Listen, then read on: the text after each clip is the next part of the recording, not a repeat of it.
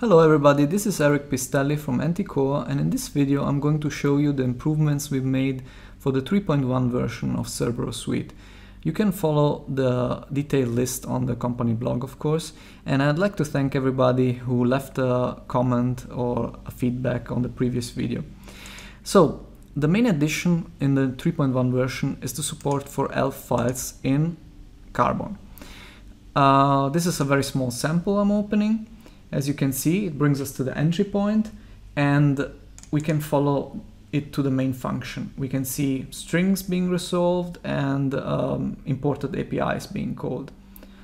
So that, that, that's that. Awesome, right? No, just kidding.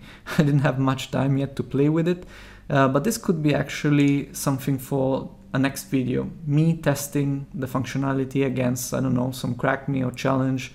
Um, so testing it against reality, which is important, of course. The second uh, feature and third feature are basically the same. Um, we've added the, well, I've added the edit bytes command to Carbon.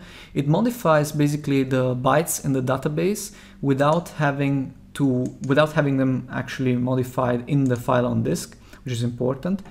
Um, you can follow the blog and I've wrote a, an article in an in-depth article uh, about this feature and it's quite uh, I don't know I, I, would say it's awesome. No I'm just kidding. It's actually a very basic uh, functionality for a disassembler. It's important to have the ability to change bytes uh, in the database itself.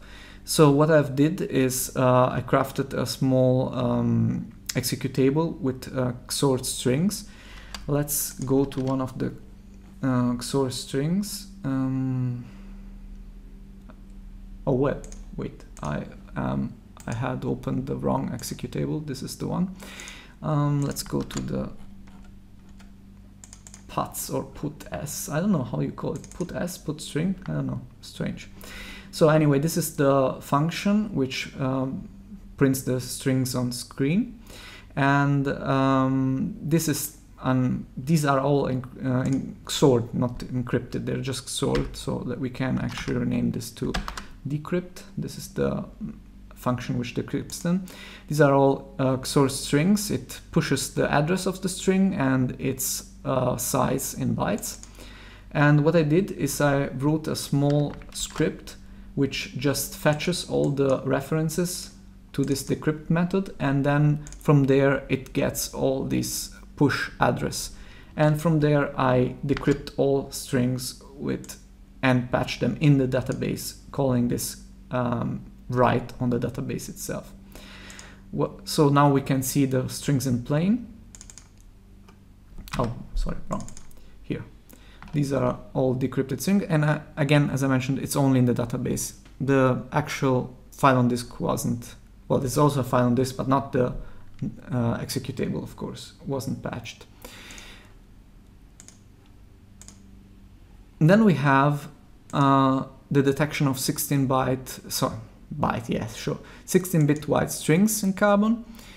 Let's take an executable which has them. In this case, kernel 32.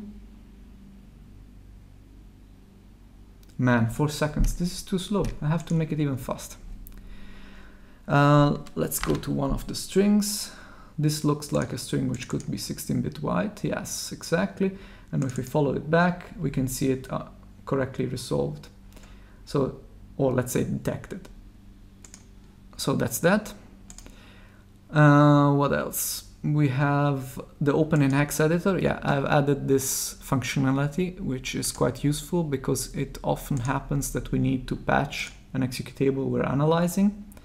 Uh, this is actually something very simple. I, I crafted a very small executable which uh, just asks for a password. I'm gonna put test here and it's wrong password. Oh, this is surprising. Wrong password. I thought I was much more lucky than that.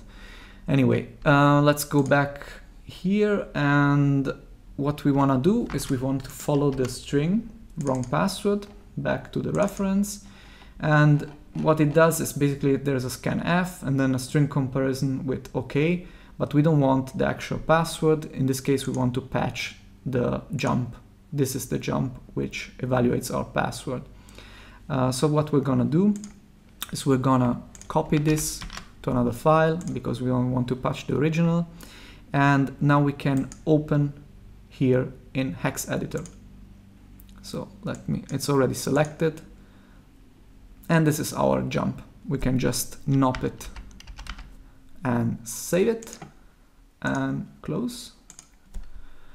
And now execute again. Right password, awesome. So, oh yeah, also filters. I don't know if you're familiar with filters. Let me open back the sample with the obfuscated strings. Um, and that's fine, one of these strings again. I always proceed from the put string function. Yeah. Basically, filters are quite useful because you can do lots of things with them. I'll show you in a minute. Uh, you can Control T to open them or contextual menu, of course. And let's just decrypt it with XOR. Not twice, just once. So, as we can see now the string is in plain and we can use filters for many things. We can hash or I don't know, um, compress, decompress, encrypt, decrypt and disassemble or even create a array for one of language of our choice. We can choose a language and then it will create an array we can import and do stuff with it. So it's actually useful for many things. Um, oh, I added also the Monokai theme. Um, I've used this theme for some development projects and I liked it, so I thought, well, let's see how it looks like in the disassembly. I don't know if it's actually comfy to reverse engineer with it, but I just think it looks cool. It looks awesome, actually. No, just kidding. But uh, I'll try it out, and in, in case I'll improve it a bit. But I like the colors, to be honest. Man, man, I, I, I. Always me. I should be paid more for all this. So, uh, control, ah yeah, single view mode. We always had full screen mode, uh, which is this one.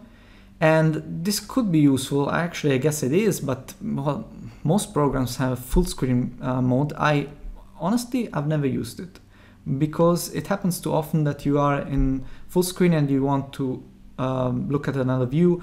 And what I've introduced for this version, let me show you better by uh, minimizing the, the window, or let's say not minimizing, but reducing maximization. Oh, this is annoying. Yeah, much better. Even more. Yeah. Now we have a very reduced window, and if we press Ctrl Alt S, we go into single view mode. And this is actually much nicer than full screen mode because if we open another view, like filters for instance, we can still see it. And when we revert back to our normal view, everything goes back to normal and the views we opened will be tapped to the previously focused window.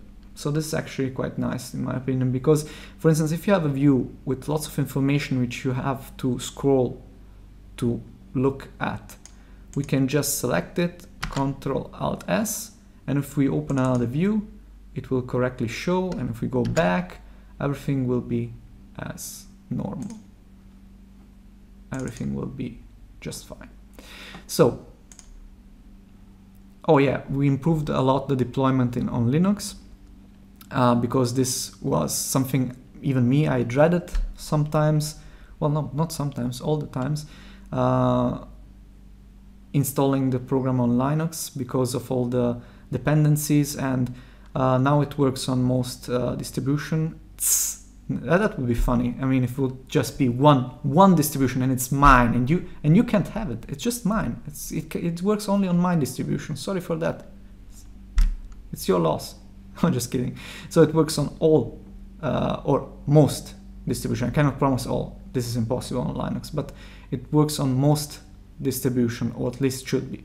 And if it's not, yeah, pity, I did my best. So anyway, the x86, x64 disassembly has been improved. Um, this is actually easier if I show you with, yeah, this executable. let's look for instance at this API, CRT unhandled exception. If we follow this call, we see it just uh, jump to the actual um, import address table entry with, for, of course, CRT unhandled exception. The, the point of it is that now these calls to jumps or jumps to jumps are all resolved automatically and we can see them resolved automatically. This improves readability, of course, a lot, in my opinion. And we improved the hex workspace. Um, actually, the hex workspace was fine.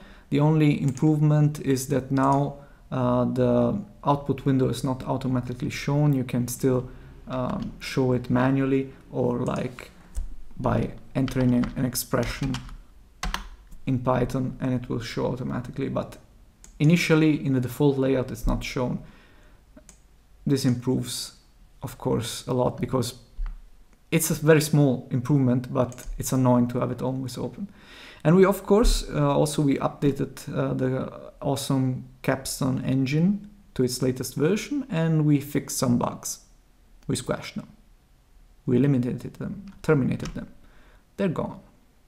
Anyway, um, I'm actually excited to show you in a while uh, some of the cool stuff I'm working on. Yeah, I'm very modest. I'm already saying it's cool. No, it's actually, I think it's cool. And uh, I, ho I, hope you like it. Uh, and uh, well, I'll show you in a bit. Bye.